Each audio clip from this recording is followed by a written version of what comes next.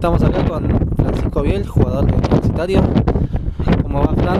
Contame un poco cómo se están preparando para, la temporada que se viene. Bueno Nico, eh, bien, bien.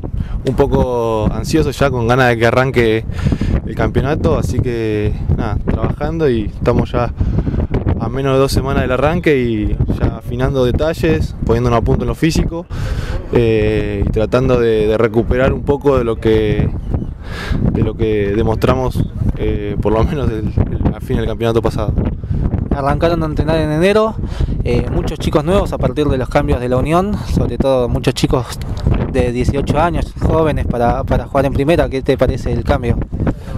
Eh, creo que el cambio, digamos, es un cambio. el tiempo dirá si es para bien o para mal. En principio sí, muchos chicos que se suman, muchos chicos de edades a las que el equipo no estaba acostumbrado, pero enhorabuena porque son chicos del club que tienen 4 o 5 años del club, entonces tienen el sentimiento por ahí por, por la camiseta muy arraigado y eso es bueno para entrenar. Eh, así que lo sumamos de la mejor manera. Eh, la idea es que ellos se acoplen un poco a la metodología de trabajo que veníamos desarrollando eh, durante el, año pasado no solo chicos chicos se sumaron, sino también gente que por ahí vuelve al club después de un parate. Y, nada, estamos en, ese proceso también, aparte de mejorar eh, técnicamente, físicamente y tácticamente, también mejorar en el ensamble de lo que es el, equipo con toda la gente nueva. ¿no? Se, se, viene una temporada nueva, se están evaluando algunos cambios, en, sobre todo en el formato del campeonato y se suman clubes como Turú y está evaluándose la, posibilidad de que se sume también Gallos de Ushuaia. ¿Qué te parece que se sumen nuevos equipos a, la Unión? No, calculo que ahí la, opinión es, es unánime en el, sentido de que es un, es un cambio positivo, que, se sumen gente al deporte, al, campeonato. Eh, es bueno, siempre la competencia genera más competencia y, en algún punto nos hace a todos eh, mejores, mejores jugadores, mejores equipos. Así que esperemos que se sumen, realmente creo que, sería bueno que se sumen justamente para esto, para generar más competencia y que el deporte y el campeonato sea aún más entretenido de lo que viene siendo. Estuvieron muy cerca el año pasado en los dos torneos, le faltó un poquito para alcanzar a Ushuaia. Eh, ¿Qué creen que, es lo que faltó y que, cómo están trabajando para este torneo nuevo que se viene?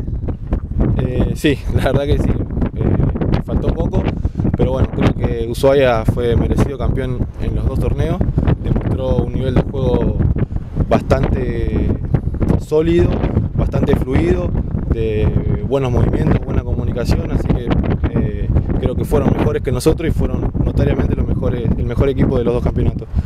Eh, nosotros hoy en día nos preocupamos por tratar de, de, recuperar el buen juego que tuvimos, el buen juego. Por momentos hubo buen juego y tratamos de, justamente recuperar ese buen juego y sostenerlo durante más tiempo durante el partido.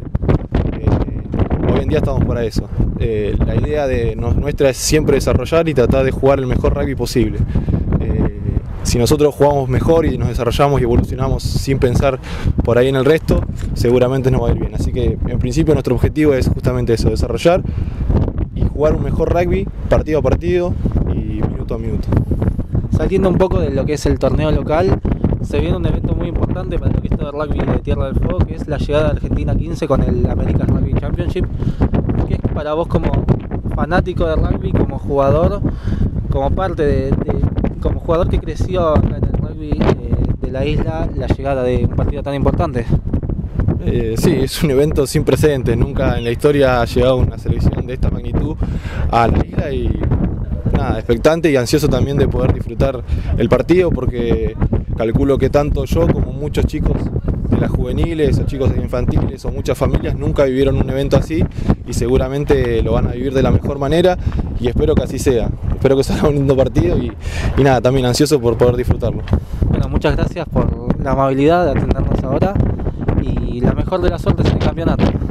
Dale Nico, gracias a vos también por el apoyo, aprovecho también para agradecerte, la verdad que siempre estuviste ahí al costado de la cancha sacando fotos o comentando sobre el partido, así que esperemos verte también este campeonato. Muchas gracias.